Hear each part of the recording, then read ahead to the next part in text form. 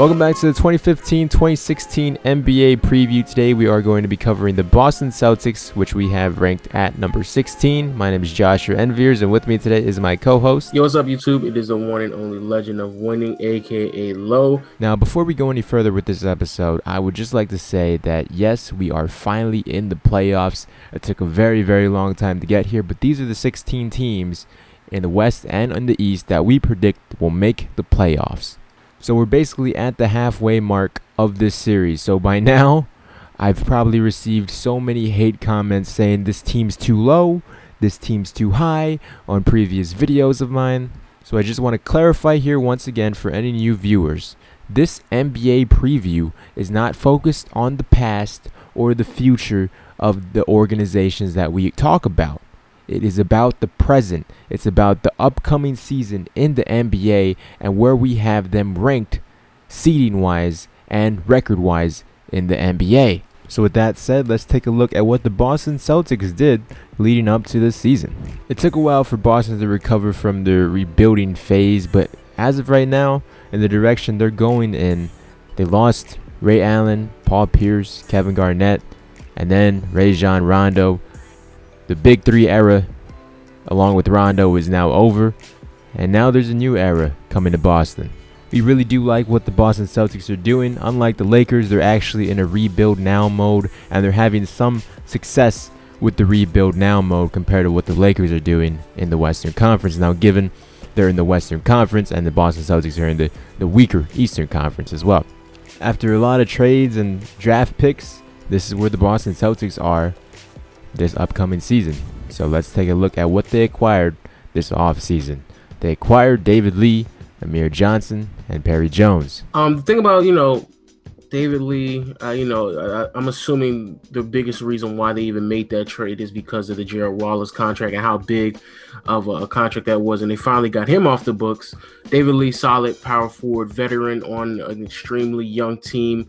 Uh, and he's a player, even in the finals when they played against Cleveland, um, David Lee most definitely was able to get his shot even within the limited amount of um, PT that he was receiving from the Warriors. Amir Johnson, hustle player, Perry Jones, um, in this deep of a lineup, I don't necessarily know how much PT he's going to get, uh, but not really much to say about their acquisitions. For what they lost, they lost a fairly good amount. They lost Marcus Thornton, Brandon Bass, and finally Gerald Wallace. As for the players they drafted, they drafted Terry Rozier III, R.J. Hunter, Jordan Mickey, Malcolm Miller, and Corey Walden. Most of those guys, for sure, at least two of those guys will see minutes in being Terry Rozier and RJ Hunter. Those are the two likely guys that are going to be getting minutes with this team. So it's going to be interesting. See if uh, any trades go down with all these rookies on the team. So they have five rookies. Hopefully, somebody, you know, materializes something out of Hopefully. those players. But you know, with the what with the lineups and as many players on this team, it's not much PT to be shared amongst rookies. Now onto the rotation for the Boston Celtics. At center, Tyler Zeller, David Lee, Evan Turner, Avery Bradley, and Marcus Smart. Like last year, I looked at the same, you know, extremely similar rotation. I didn't think that they were going to make the playoffs, but this is a team that really fights, a team that really goes after it, a team that really, you know, a lot of fights. defense in that starting lineup. A lot of defense and a lot of hustle. So I think that's the biggest thing. David Lee, questionable if he's going to play how many minutes, how many games, because he he is um, fairly injury prone. But you know, I, I, like the hustle from Evan Turner over the past you know 30, the last 30, 40 games in the season. So we'll, we'll most definitely see if he can bring that type of intensity back around next year. And off the bench, Kelly Olynyk, Amir Johnson, Jae Crowder, James Young, and Isaiah Thomas, which is even more hustle guys. And like we should have mentioned, Isaiah Thomas will be hopefully with the Boston Celtics for a full season to see what he has. Yeah, and I think there's another reason why we kind of put him so high. Isaiah Thomas, you know, he he, he wasn't there for half the season he, last year. He joined the team halfway, and he was still able to be a, a huge part of the offense, and most definitely aided them into their um, their succession of getting that eighth seed. Also, Jared Sullinger is also going to be a rotation guy within this mix. Um, I can most definitely see him receiving a lot more minutes, especially if David Lee doesn't really pan out. Um, but this is like a, a legit, you know, 10, almost 11 man rotation of just solid players. Again, it's not going to be somebody, you know, crazy good, but just really solid players Um, so again, applaud to the Celtics for piecing together a pretty solid rotation. And, I like what they're doing. I, I, really do. There's like no one standout superstar quite yet. I mean, Isaiah Thomas, he might be getting a few starts here and there depending on how Marcus Smart does. Uh, Marcus Smart did like break his fingers or something along those lines in summer league. So hopefully Marcus Smart could be back early, and uh, if not, Isaiah Thomas and Terry Rozier right there.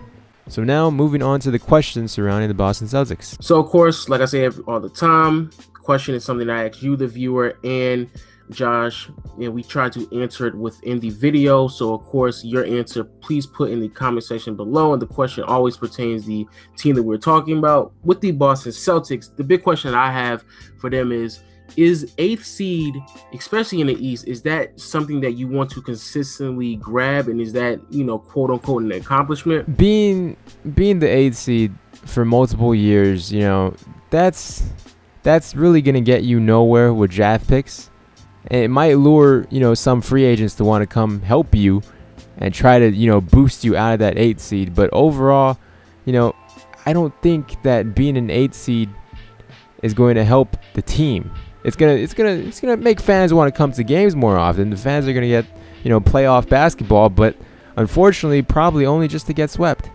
So to answer the question, it it won't get them anywhere until they decide you know to do a trade or decide to go the opposite direction and you know just try to tank one season again. But I think the Boston Celtics are trying a lot faster to be done with tanking than the Los Angeles Lakers at this point. You know, I, I will say this: I, I do applaud the Celtics for actually going out there and uh, attempting to win games and put together a team that is willing to um really fight just to you know get to the eighth spot. Even though that may not really amount to much, they're still actually winning games. So I do uh, um, applaud them for that. But realistically speaking, just winning the eighth spot really and truly doesn't amount to much. Again, it is another playoff appearance and it is you know reps for your players for playoff appearances and so they can be ready when it is time to start winning championships but i just don't see how that really amounts to much when you're missing out on draft picks and potentially a franchise player that you can build around but they do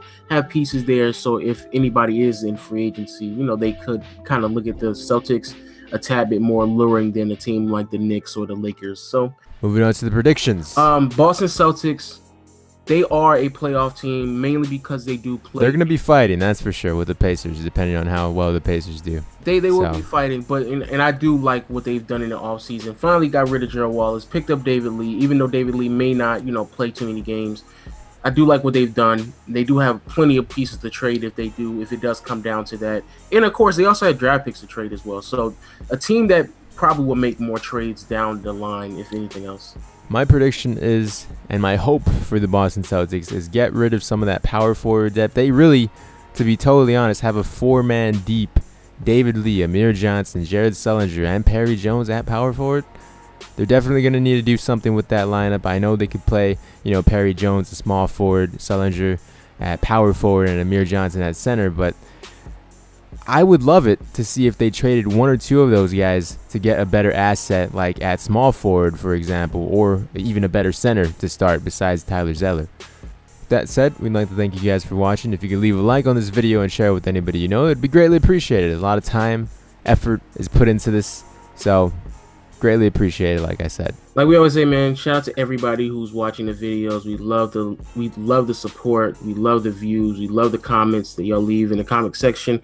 Um, always, always love to respond to you all as well. But keep sharing it, keep liking, keep favoring, just spread the word that um, this is what we're doing. We will see y'all next time. We are in the playoffs, people, but we are in the playoffs. We'll talk to you guys later. Bye bye. Bye, guys.